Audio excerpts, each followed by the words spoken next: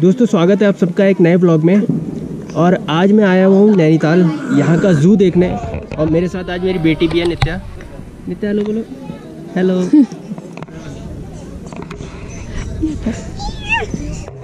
इसको बहुत मज़ा आ रहा है। तो हम लोग सब जू देखने आए हुए हैं। और जू है ये Govind Vallabh Pant high altitude zoo तो अभी हम लोग यहाँ पे आए हुए हैं एंट्री हम कर चुके हैं।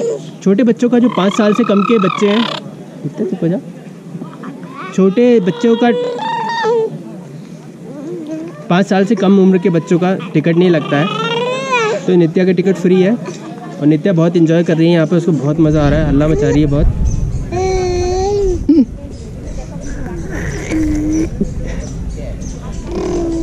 तो बहुत अच्छा जू है, काफ़ी सारे यहाँ पे जानवर हैं और अभी हम एक्सप्लोर करने वाले हैं। तो आइए चलते हैं और देखते हैं जू को।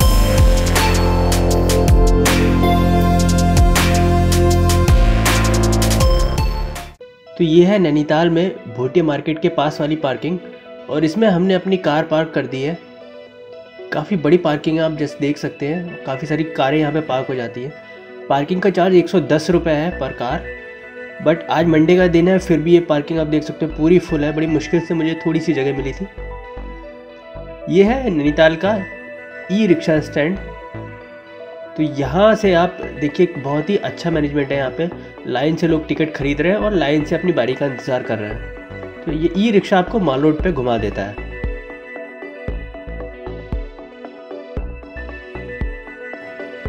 तो अभी हमें जाना है जू तो ये पॉइंट जो है इंडियन होटल के पास में है माल रोड पर।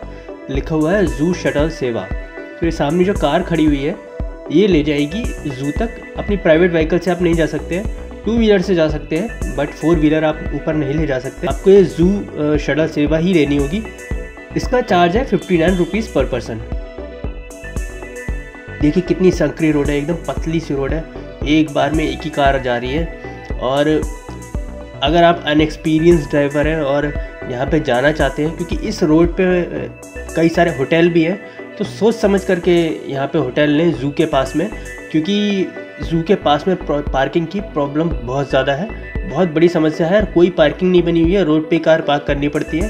और बहुत ज़्यादा दिक्कत होती है क्योंकि लोगों को पता नहीं होता है जू की लोकेशन के बारे में। जो लोग नैनीताल से बाहर से आते हैं। तो देखिए, सामने से कार आ रही है और अब आमने सामने हो गई कार। बहुत पतली रोड है। बट इस रोड से आपको नज़ारा बहुत ही गज़ब का दिखाई देगा। नैनीताल का। देखिए, लेक कितनी अच्छी हरी हरी दिखाई दे रही है। तो हम पहुँच गए उस पॉइंट पे जहाँ से हमको पैदल ही जाना होता है। यहाँ तक कार आती है सिर्फ़ और यहाँ से ऊपर आपको पैदल ही जाना होता है। और वापसी में हम उसी टिकट से चले जाएँगे। टिकट है fifty nine rupees per person का। तो वही टिकट दिखा करके वापसी में हमको नंबर मिलेगा। नंबर सिस्टम सिस्टम चलता है यहाँ पे तो हम वापसी में जा सकते हैं। यहाँ पे लिखा हुआ है थर्सडे को जू क्लोज रहता है। तो इस बात को ध्यान में रख के आए यहाँ पे। और रास्ता आप जब आएँगे तो आपको इस तरह का पक्का बना हुआ मिलेगा। अब किसी भी मौसम में आते हैं तो आपको चलने में दिक्कत नहीं होने वाली। ये पॉइंट जो है बहुत ऊंचाई पर है। तो देखिए यहाँ से नैनीताल का व्यू कितना गज़ब का दिखाई दे रहा है। हम लोग काफ़ी ऊंचाई पे आ चुके हैं और नैनी लेक हमको काफ़ी नीचे दिखाई दे रही है। अभी आगे चलते जाएँगे तो और अच्छे व्यू आएँगे हमें। जगह जगह पे बेंचेस भी लगी हुई हैं बैठने के लिए। अगर आप चलते चलते थक जाते हैं तो आराम कर सकते हैं बैठकर। देखिए कितना खूबसूरत नज़ारा है यहाँ से, पहाड़। धूप निकली हुई है खिली खिली और सुबह के 10 बजे का समय है, हम लोग थोड़ा सा ट्रैक कर रहे हैं। लगभग पाँच छः सौ मीटर का ट्रैक होगा यहाँ से, बट चढ़ाई है तो आराम आराम से चल रहे हैं।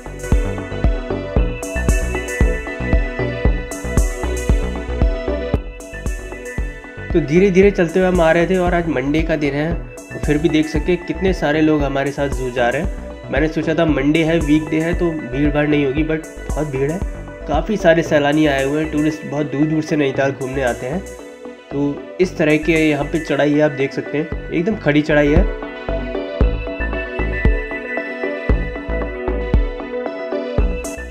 जिनको पैदल चलने में दिक्कत है या जिनको कोई हार्ट की प्रॉब्लम है तो वो मैं कहूँगा कि ऐसी जगह पर ना आए। और जब आप यहाँ पे आते हैं तो आपको इस तरह के नज़ारे दिखाई देंगे जो नैनीताल में और किसी भी व्यू पॉइंट से दिखाई नहीं देंगे। ये एकदम अलग पर्सपेक्टिव दिखाई देता है यहाँ से नैनीताल का। देखिए कितना खूबसूरत नज़ारा दिखाई दे रहा है यहाँ से। तो हम पहुँच गए जू की कैंटीन के बाहर। यहाँ पे कैंटीन है और लिखा हुआ है नैनीताल जू तो यहाँ पे टिकट काउंटर भी है। तो अभी जा रहे हैं हम।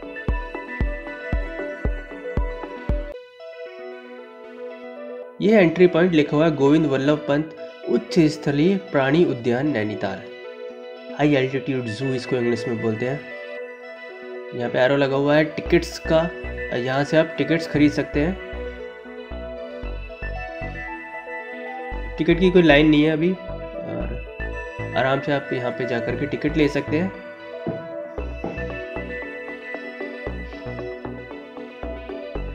तो ये सेल्फी पॉइंट बनाया हुआ है यहाँ पे एंट्री के पॉइंट के बाद ही जैसे आप अंदर घुसते हैं, वैसे यहाँ पे सेल्फी पॉइंट बनाया हुआ है लिखा हुआ है नईदास जू यहाँ पे लोग आके अपनी फ़ोटोज़ खिंचवाते हैं। काफ़ी अच्छा यहाँ पे माहौल बनाया हुआ है। बेंचेस भी लगी हुई हैं।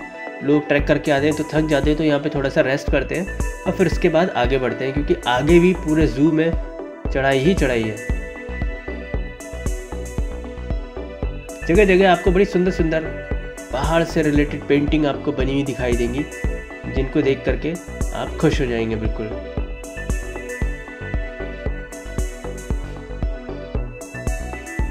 देखिए, आपको किसी भी पशु, पक्षी या जानवर को देखने जाना है तो आपको इसी तरह की चढ़ाई करनी है। कितनी चढ़ाई है और यहाँ पे टाइगर का बोर्ड लगा हुआ है। ऊपर चढ़ाई करके हमें जाना है और टाइगर देखना है। चलते हैं, सीढ़ियाँ बनी हुई हैं कुछ, काफ़ी ऊंचाई पे है टाइगर। चलते हैं, टाइगर को देखते हैं। इसी तरह किसी भी हमें जानवर या पशु पक्षी को देखना है तो हमें चढ़ाई ही करनी पड़ेगी इसी तरह से। काफ़ी सारे लोग यहाँ पे आए हुए हैं और आज मौसम भी काफ़ी अच्छा है। खिली खिली धूप निकली हुई है और अच्छी खासी भीड़ है। मैं एक्सपेक्ट नहीं कर रहा था कि मंडे को भी इतनी भीड़ हो सकती है यहाँ पे बट नैनीताल में बहुत ज़्यादा भीड़ है। सर्दी का मौसम स्टार्ट हो चुका है, ठंडा है। मैंने जैकेट पहनी हुई है। और ये है पिंजरा शेर का।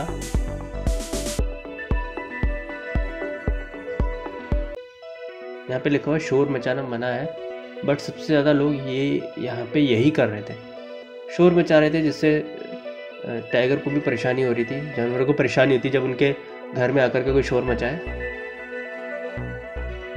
अभी हमें सामने से दिखाई दे रहा है। इधर उधर घूम रहा है टाइगर लोगों को देख करके ये भी परेशान हो जाते होंगे कि ये लोग कहाँ से आ गए, हमें देखना। इसीलिए ये लोग मुझे लगता है कि थोड़ा सा जानवर बेचैन हो जाते होंगे जब इनके चारों तरफ़ इतने सारे लोग खड़े रहेंगे और शोर मचाएँगे तो इनको भी थोड़ा अजीब लगता होगा। देखिए, यहाँ पर लेपर्ड भी है। कुछ इस तरह से पक्के रास्ते बने हुए हैं। आप ये समझ लीजिए कि एक पहाड़ है और इसको काट करके रास्ता बना दिया गया है और उसी रास्ते पर जगह जगह में लेफ़्ट राइट में पिंजरे बनाए गए हैं जहाँ पे जानवरों को रखा गया है। तो ये एक बिल्कुल अलग तरह का जू आप एक्सपीरियंस करेंगे अगर आप यहाँ पे आते हैं तो। इस तरह का जू आपने पहली बार ही देखा होगा और ये अपने में बिल्कुल अनोखा जू है अपनी तरह का, क्योंकि बाकी सारे जू जो होते हैं वो प्लेन में होते हैं, उनमें आपको चढ़ाई नहीं करनी पड़ती है। बट यहाँ पे आपको किसी भी जानवर को देखना है तो आपको चढ़ के जाना ही होगा। देखिए, धूप कितनी तेज़ निकली हुई है। और यहाँ से अब हम देखने आए हैं बंगाल टाइगर को। बिल्कुल नज़दीक से देखते हैं। कितना सुंदर और लाजवाब दिखाई देता है। बट अगर ये सामने आ जाए तो हालत ख़राब हो जाएगी हर इंसान की। अभी तो पिंजरे में बंद है तो कोई प्रॉब्लम नहीं है।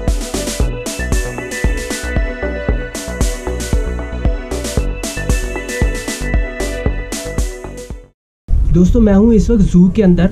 ये एक हाई एल्टीट्यूड ज़ू है मतलब कि बहुत ही ऊंचाई पे ये ज़ू है। और जब आप यहाँ पे आते हैं तो आपको ऊपर ही चढ़ाई करनी पड़ती है। मतलब ये आपने नॉर्मली जो ज़ू देखे होंगे, वो एक ग्राउंड में बने होते हैं और वहाँ पे जानवर रखे हुए होते हैं। बट यहाँ पे ऐसा नहीं है, ये एकदम खड़े पहाड़ पे बिल्कुल ज़ू बनाया गया है और वहीं पे सारे जानवर। तो आपको जब आप कोई भी जानवर देखने जाएँगे कोई भी पशु पक्षी देखने जाएँगे तो चढ़ाई ही करनी पड़ेगी। एकदम खड़ी चढ़ाई है और काफ़ी लोग थक भी जाते हैं यहाँ पे चढ़ाई करते हुए। तो आ, जो भी आपको जानवर देखना है या पशु पक्षी कुछ भी देखना है तो वो आपको ऊपर चढ़ाई करके ही देखना पड़ेगा। जू की एंट्री का टिकट सौ रुपये पर पर्सन है। अगर आप सीनियर सिटीज़न हैं या फिर डिसेबल्ड पर्सन है यानी कि विकलांग है तो फ्री एंट्री होती है उनके लिए। और ज़ू के अंदर जब आप आते हैं तो एंट्री पे ही बैग चेक होता है। तो कुछ खाने पीने की चीज़ आप अंदर नहीं ले जा सकते। बट आपको पानी की बोतल साथ में रख लेनी चाहिए जब भी आप इस जू में आ रहे हैं, क्योंकि आप जब चढ़ाई करेंगे तो आपको ज़रूर प्यास लगेगी, चाहे आप किसी भी मौसम में यहाँ पर आ रहे हो। तो पानी की बोतल रख लें और शूज़ अच्छे पहन लें, क्योंकि काफ़ी चलना पड़ता है और चढ़ाई है काफ़ी ज़्यादा। तो उस हिसाब से प्रिपेयर होकर के आएँ, तभी इस जू का आनंद ले पाएँगे। तो ये है भालू की मान। ऊपर एक भालू सोया हुआ भी है उसमें अंदर। मैंने देखा था थोड़ा ऊंचाई से। और कुछ इस तरह का वातावरण बनाया हुआ है। दूसरा भालू एक और आगे है। उसको देखने चल रहे हैं हम लोग। ये है, सामने लेटा हुआ है। देखिए, कितनी मस्त धूप में लेटा हुआ आराम से सो रहा है वो। उसे किसी से कोई मतलब नहीं है। कोई आओ या जाओ, मुझे क्या फ़र्क पड़ता है? मैं तो सोऊँगा आराम से। दोनों भालू सो रहे हैं, मस्त, ओके। तो यहाँ पे और भी बहुत सारे आपको पशु पक्षी प्राणी दिख जाएँगे। Barking deer, भराल, coral, leopard. जगह जगह पे आपको कई सारे प्राणी देखने को मिलेंगे। पशु पक्षी और जानवर देखने को मिल जाएँगे।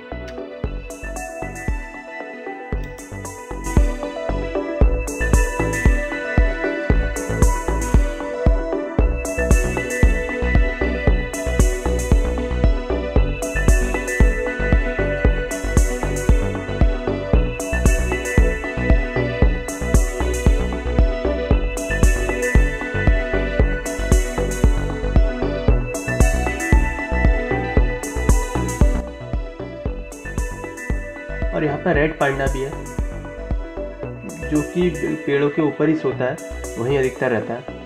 तो अभी भी वो पेड़ के ऊपर ही सोया हुआ है, बिल्कुल पेड़ के अंदर घने जंगल में जा के वो सो रहा है। जूम करके आपको दिखाता हूँ।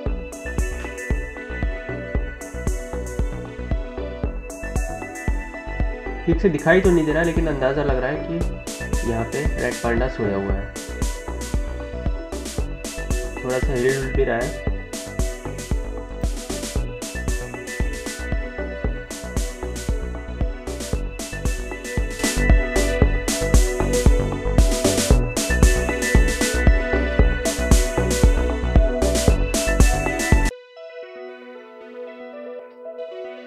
यहाँ पे और भी काफ़ी सारे जानवर हैं, जैसे तिब्बत का वुल्फ है, लेपर्ड कैट है, सांबर भी है।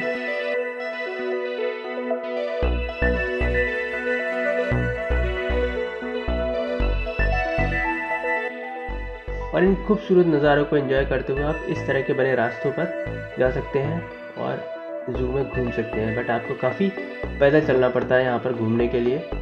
क्योंकि यहाँ पे कोई जैसे बाकी जू में होती है कि गाड़ी की सर्विस होती है जो अंदर गाड़ी चलती है वो आपको घुमा देती है, कहीं पे भी आप उतर जाओ, कहीं से भी चढ़ जाओ, जो बड़े बड़े जू होते हैं उनमें सुविधा होती है, बट यहाँ पे ऐसा कुछ नहीं है। और ये है सांभर जो कि अक्सर जू में देखा जाता है। छोटे मोटे जू में भी ये आसानी से दिखाई दे जाता है, जंगलों में भी कई बार दिखाई दे जाता है। और भी कई तरह के आपको पशु पक्षी सुंदर सुंदर दिखाई देंगे।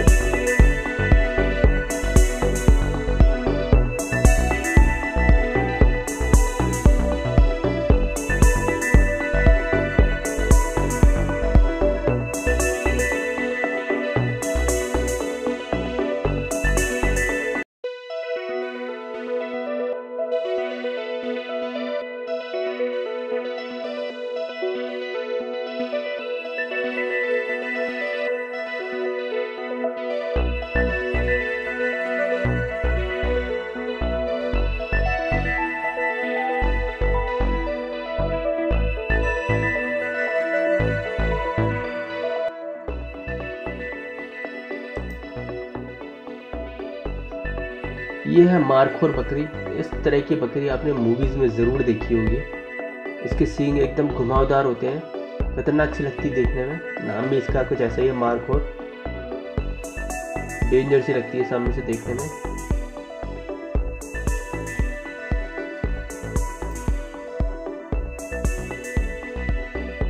और ये है गुलदार। तो यहाँ ऊंचाई से हम लोग इसको देख पा रहे हैं। पिंजरे में बंद है और इधर उधर घूम रहा है।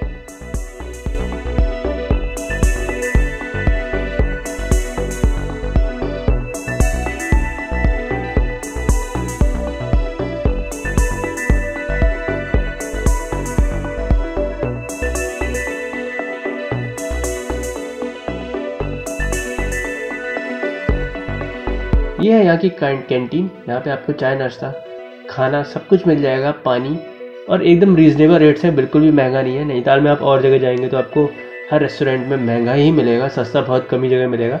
बट यहाँ पे बिल्कुल रीज़नेबल रेट्स हैं।